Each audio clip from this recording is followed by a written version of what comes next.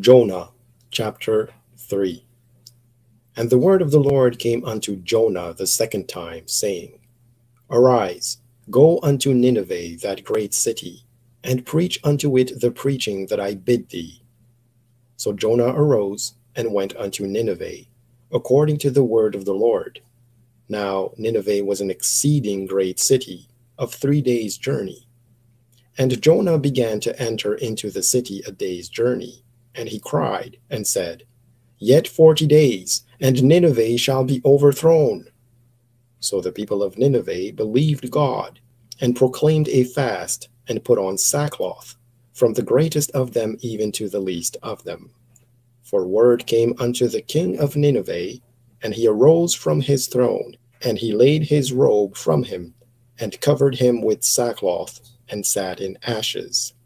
And he caused it to be proclaimed and published through Nineveh by the decree of the king and his nobles, saying, Let neither man nor beast, herd nor flock, taste anything. Let them not feed nor drink water.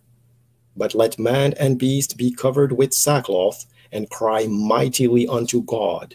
Yea, let them turn every one from his evil way, and from the violence that is in their hands. Who can tell if God will turn and repent and turn away from his fierce anger, that we perish not? And God saw their works, that they turned from their evil way. And God repented of the evil that he had said that he would do unto them, and he did it not.